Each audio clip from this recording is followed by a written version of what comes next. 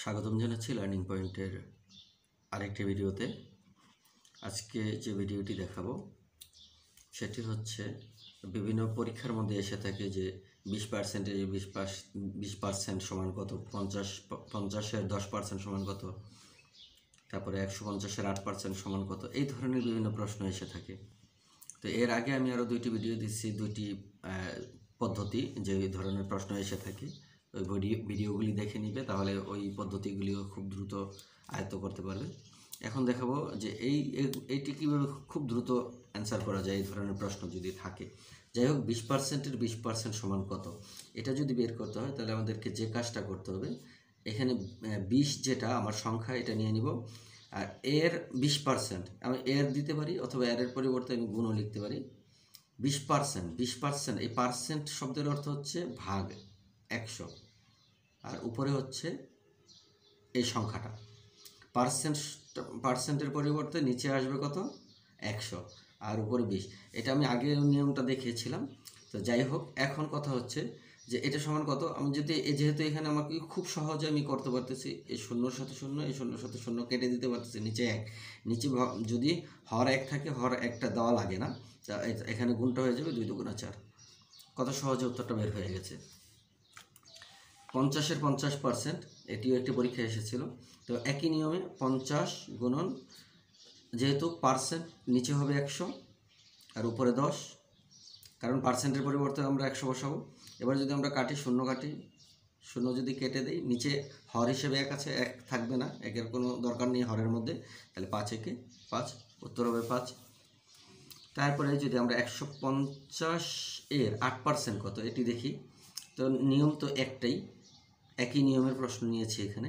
তাহলে গুণ দিয়ে হবে, ও নিচে হবে একশো উপরে হবে আট। তো এখন এখান থেকে একটা শূন্য একটা শূন্য কাটা যায়। তারপরে কিন্তু আর কাটা যাচ্ছে না। তাহলে যে কাজটা করতে হবে, পনেরো দিয়ে আটকে গুণ করব আমরা। পনেরো আটে কত হয়? পনেরো আটে হয় একশো বিশ।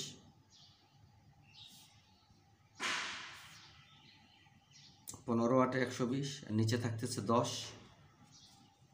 তাহলে এবারে এই শূন্য শূন্য কেটে দিলে থাকবে বারো। তাহলে এটা আমার উত্তর হবে বারো। আশা করি বুঝতে পেরেছ।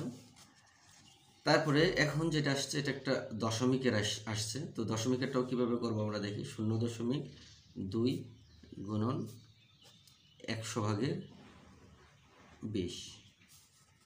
তো এখন যে কাজটা করব, প্রথম যে কাজটা করব, আমি একটা শূন্য একটা শূন্য এখানে কেটে দিলাম। তারপরে এখন দুই দিয়ে যদি এটাকে গুণ করি, তাহলে হবে শূন্য দশমিক চার, কারণ দুই দোকানা চার হয়ে যাবে নিচে আছে দশ। তো এখন যেহেতু ভাগ অবস্থা আছে দশ, তো ভাগ করতে গেলে দশমিকটা এক ঘর বামে যায়। দশমিকটা এক ঘর বামে যায়। একটা শূন্যের জন্য, একটা শূন্যর জন্য দশমিক এক ঘর বামে যায়। তো এক ঘর বামে গেলে এটা হয়ে যাবে শূন্য দশমিক শূন্য চার। আশা করি বুঝতে পেরেছ। এক এক থাকলে আর অন্য সংখ্যা থাকলে ওই সংখ্যাটা দিয়ে ভাগ ই কী করতে হবে? ভাগ করতে হবে। যেহেতু এখানে দশকের ঘরে এক আছে, এক থাকলে, দশকের ঘরে এক থাকলে এই নিয়মে বসিয়ে দিলে হয়ে যাবে সহজেই। তার মানে শূন্য যতটা, দশমিক ততটা বামে আসবে, ভাগ অবস্থায় যদি থাকে। আর গুণ অবস্থা হলে ডানে যাবে। এটা মনে রাখতে হবে। তো পরেরটাও আমরা ঠিক একই নিয়মে দেখে নিই। আমাদের এটা দেখলে আমরা আশা করি আরও ক্লিয়ার হয়ে যাব। তো এক দশমিক পাঁচ পাঁচ পাঁচ পাঁচ পাঁচ। এটা গুণচিহ্ন দিয়ে আমাদের পাঁচ পার্সেন্টের জন্য আমাদের কি হবে? একশো ভাগের পাঁচ হবে। সবগুলির নিয়ম এক নিয়েছি আমি যাতে সহজে বুঝতে সহজ হয়। আর একটা নিয়ম নিয়েই আমি একটা ভিডিও করতেছি যাতে ক্লিয়ার হয়ে যাওয়া যায়। আশা করি বাকি ভিডিওগুলিও দেখ, দেখে নেবে আরও আরও ভিডিও আসবে, সেগুলিও দেখে নেবে। তো এখন যে কাজটা করব আমরা আমরা দুইভাবে করতে পারি। এক এক নাম্বার হচ্ছে প্রথমে আমরা পাঁচ দিয়ে এটাকে গুণ করে নিতে পারি। তো পাঁচ দিয়ে যদি আমরা গুণ করি, কারণ এটা সহজ আছে, আমরা পাঁচ দিয়ে আগে গুণ করে নিই। তাহলে পাঁচ দিয়ে গুণ করলে পাঁচ পাঁচা পঁচিশের পাঁচ, হাতে থাকে দুই, পাঁচ পাঁচা পঁচিশ দুই, সাতাশের সাত, হাতে থাকে দুই, পাঁচ পাঁচা পঁচিশ দুই, সাতাশের সাত, হাতে থাকে দুই, পাঁচ পাঁচা পঁচিশ, হাতে দুয়ে সাতাশের সাত, হাতে থাকে দুই, আবার পাঁচ পাঁচা পঁচিশ, আর হাতে দুই সাতাশের সাত, হাতে থাকে দুই। তাহলে এখানে পাঁচ একে পাঁচ আর দুইয়ে সাত। তাহলে দশমিকটা এখানে চলে আসবে আর নিচে আসবে একশো। এখন আমি বলেছিলাম যে ভাগ অবস্থায় যদি থাকে তাহলে প্রত্যেকটা শূন্যের জন্য দশমিক কয় ঘর আগ- আগাবে? দুই ঘর বামে আসবে। তাহলে এটার উত্তর আমার চলে আসবে কত? তো এখানে আছে একটা সাত। তাহলে আরও একটা ঘর লাগবে, তাহলে ওই ঘরটা আমার শূন্য লাগবে। তাহলে শূন্য দশমিক শূন্য সাত সাত কয়টা সাত হবে তখন? এক, দুই, তিন, চার, পাঁচ, পাঁচটা সাত। তারপরে একটা, পাঁচ। এটি হয়ে যাবে আমাদের উত্তর।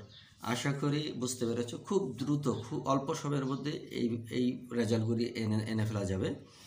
তো ভিডিও যদি ভালো লেগে থাকে, সামান্যতম যদি উপকার হয়ে যায়, হয়ে থাকে, তাহলে অবশ্যই অবশ্যই ভিডিওটিতে একটি লাইক দিবে, কমেন্ট করবে। আর চ্যানেলটি যদি এখনও সাবস্ক্রাইব করে না থাকো, সাবস্ক্রাইব করে বেল বাটনে ক্লিক করবে পরবর্তী ভিডিওগুলির নোটিফিকেশান পাওয়ার জন্য। সকলকে ধন্যবাদ। সকলেই ভালো থাকবে।